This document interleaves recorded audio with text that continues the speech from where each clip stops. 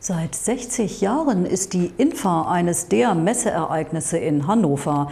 Noch bis Sonntag lädt die INFA wieder zum Bummeln und Einkaufen ein. Fast 1300 Aussteller aus 40 Nationen zeigen, was es Neues gibt rund um Haus, Garten, Mode oder Lebensstil. Wir haben die INFA für Sie besucht. Ob im Bazar der Nation exotischen Schmuck aus goldenem Gras anprobieren oder in der Weihnachtswelt Christmas neue Deko aussuchen – auf der Infa ist für jeden was dabei. Apropos exotisch, im Basar der Nation kann man originalen Rooibos-Tee kosten.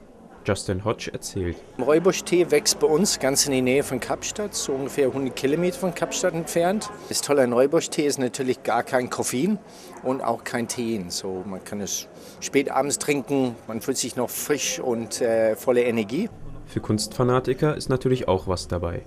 Bei der Lifestyle-Messe Lebensart kann man neueste Innovationen in Kunst und Design beobachten. So auch die Wanddekorationen im Atelier von Katrin Geller.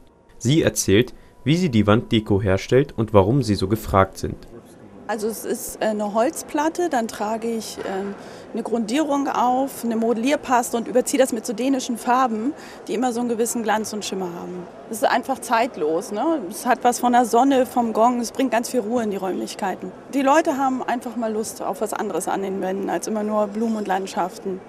Ja, und Weihnachten steht ja auch bald vor der Tür.